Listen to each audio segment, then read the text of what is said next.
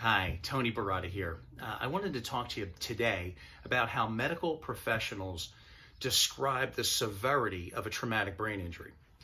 Uh, the, the medical professionals use three different categories mild traumatic brain injury, moderate traumatic brain injury, and severe traumatic brain injury.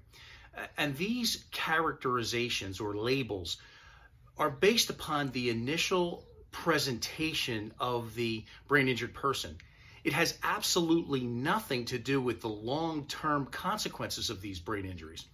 I have had clients who have suffered what have been categorized or labeled as severe traumatic brain injuries who have less significant long term problems than people who have been categorized as having mild traumatic brain injury.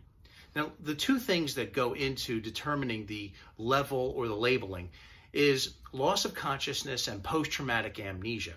Loss of consciousness means that you've totally lost the awareness of yourself or your surroundings.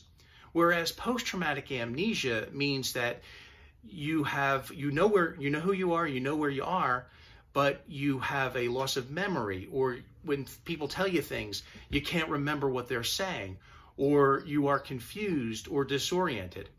So the, the, for a mild traumatic brain injury, that's determined by a loss of consciousness of anything less than 15 minutes, and for post-traumatic amnesia of anything less than an hour. So if a, if a person's knocked out for 14 minutes and then is confused and disoriented for another 45 minutes after that, that is a mild traumatic brain injury.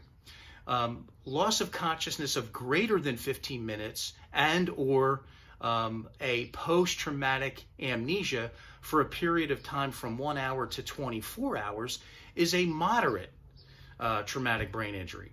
And then lastly, a, a, severe traumatic brain injury is anything that is um, a, a, loss of consciousness.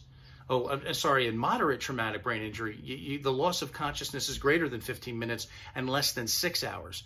So anything greater than six hours for a loss of consciousness and a post traumatic amnesia of greater than 24 hours is categorized as a severe traumatic brain injury. But again, it's very important that this is a labeling for use by medical professionals solely to determine the initial presentation of the brain injured person and is not meant in any way to describe how um, uh, severe in actuality or in the long term, or uh, what effect this brain injury will have on this person's life over their lifetime. Uh, my name is Tony Baratta, and I hope this has been helpful to you.